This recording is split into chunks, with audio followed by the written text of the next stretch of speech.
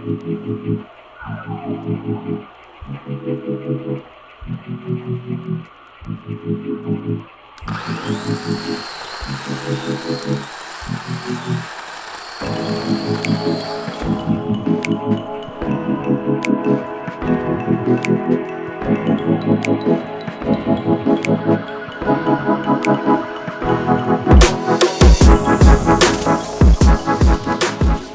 welcome back. Today we are talking about a tool that I've had for a couple years now and have gotten quite a bit of use out of and especially since we have our new property which is in the middle of the woods and we have been cleaning up after our timber harvest. That is the DeWalt 20 volt chainsaw with a 12 inch bar. To start off, uh, this is a small saw. It's really light, easily maneuverable, and what I really like the most about it is it's just so easy to use. Having electric chainsaw, you're not dealing with mixing oil and gas. You slap a battery in it, make sure there's oil for the bar and chain, and you are good to go. The only controls on it are the trigger and the kickback guard. Uh, kickback guard actually fooled me when I first got it. I thought the saw wasn't working because it's just an electronic switch in here. Uh, you just go ahead and pull it back for it to work just like you do on a real gas chainsaw and push it forward and it just turns off the motor. You can still click the trigger but nothing actually happens. That's why I thought it was uh, broken because typically you can't even pull the trigger on a gas saw when the guard is forward. Another thing I really like is the chain tensioning mechanism. It is tool free, which I've never used a chainsaw where you didn't need a wrench of some sort to tighten or loosen the chain. All you do is unscrew this nut right here, pop this out, unscrew, and then this lever here tightens or loosens the chain on the bar. So it's really easy and I like how they designed that. Now let's talk about battery performance. My everyday, just around the house battery is a 5 amp hour that I typically use in my larger DeWalt tools like circular saws and sawzalls, that sort of thing. And it does just fine. When I'm doing a lot of cutting, like when we're here in the middle of the woods and I've got essentially a full day's worth and I, I need it to last, I will put this big battery in. This is the 60 volt out of my string trimmer.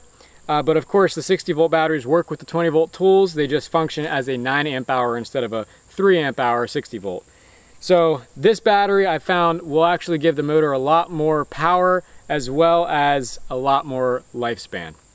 And some of you might be wondering whether or not this will work on these tiny little drill batteries. I have a one and a half amp hour that came out of my impact gun and the answer is yes, it will work and it will cut just don't expect it to cut all day for you. This is not a big battery. It's meant for something like a drill, and this is a much larger motor than you'd find in an impact gun. Now let me talk a little bit about the bar and chain.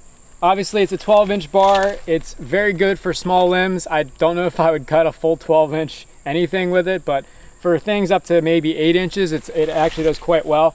And I will say uh, the chain does stay sharp for quite a bit. I just sharpened this recently. It takes a 530 seconds round file, by the way. And uh, the one complaint I have about the chain though is that it seems to be very kickback prone, which is kind of strange because I would think on a homeowner grade saw like this, they would want a full anti-kickback chain, but uh, it can be tough to start some cuts. It's always trying to kick back at you right as you're starting a cut. We might be able to get some of that on video, but uh, that's the that's the only complaint I have about the chain. Otherwise, it stays pretty sharp and it leaves a fairly thin kerf too, so it's not removing a ton of material, and the shavings look good. The last thing I want to mention about this saw, which is a con, is the oil leakage. If you leave oil in this saw after you're done cutting with it, it will leak out. and, it, and it's uh, basically coats the whole bottom of the saw and gets oiled on whatever you're sitting it on. So just keep that in mind. I tried cleaning it out to see if that made any sort of difference, but this thing just leaks oil and I don't know how to fix it. I should mention that I bought this saw more for carpentry than forestry, working on barn beams and squaring things up, and this saw's small size and weight makes it really great for carpentry projects. So Alex is your tool guy. I am just an operator. Um, I don't know a ton about saws, but I do know that this one is super easy to operate. The trigger is super easy like Alex was talking about the guard, that is super um, easy to set up. And then also just the saw itself is so lightweight. And this is really beneficial for me because if you hand me a gas saw, I can't lift it up to high heights or um, I have to get in a really good position in order to cut. Um, but with something like this, I have a little bit more flexibility of how I can cut some type of limb. Um, Alex mentioned that we've been clearing up our property. We are building a house and so this has been what I've been using the entire time and he's been using his gas saw. And I can tell you that I really like this saw and I would highly recommend it to anyone who is looking for something that is lightweight and to use with smaller limbs. So when you're holding the saw, you hold the bar up here and then your thumb presses this lock here and this is to unlock it and then you pull this trigger here to start cutting. Now that we have told you what we like and don't like about the saw, we're gonna go ahead and get cutting and show you some of that footage.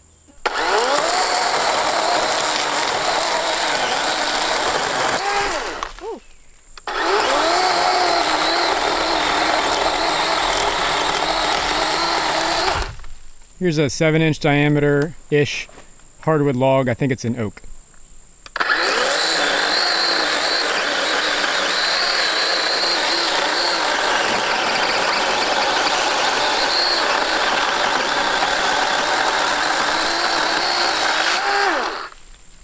Butter.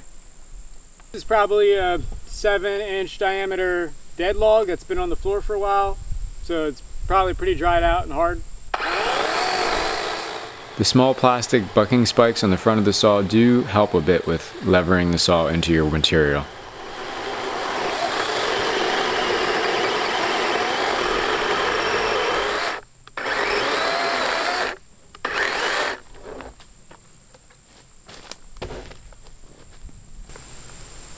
Came off the tracks. I don't know how. Luckily I don't need any tools to fix it.